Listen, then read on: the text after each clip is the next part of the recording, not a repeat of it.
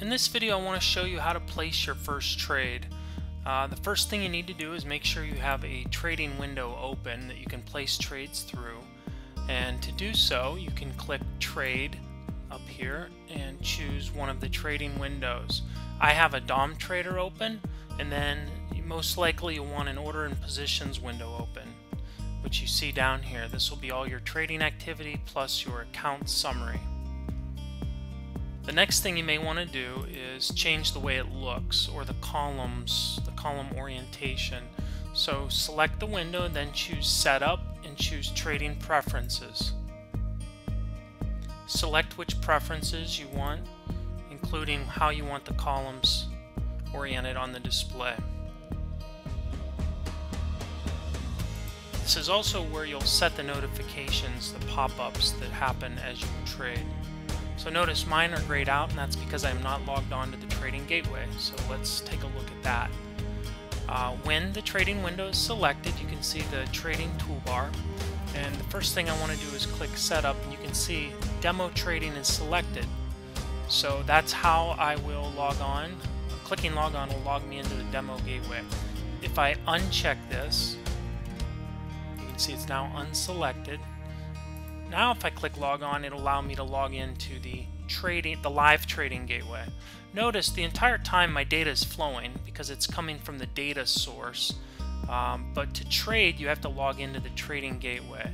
So I'm going to go back, choose demo, and then I'm going to click log on. It'll automatically log me into demo.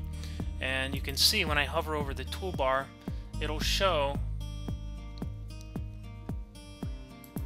see, it'll show you that you're logged into demo. Market Delta demo. To place trades in the DOM, you simply will click to place the trade, and you can right click to cancel. Now there's other ways to place trades, and I would uh, recommend reviewing under Help, so Support, Open Help, and choose Trading. Based on the display that you're using, you can read up on the different methods for placing trades. There's also associated videos that you can watch trade from the chart, select the chart, and choose Snap Trader. You'll see it'll open up Snap Trader, and there's different types of orders you can place based on where you hover on this. If I want to go below the market and place a trade, I can click the down arrow. You can see the horizontal line on the chart. And now I can place a buy, and there it is. This is how you do chart trading.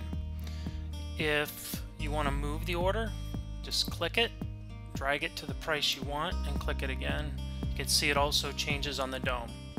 You can right click to cancel, and if you right click and choose modify order display, that's the study, this is called order display, make sure you have drag to modify checked. Most people, you'll probably want that selected.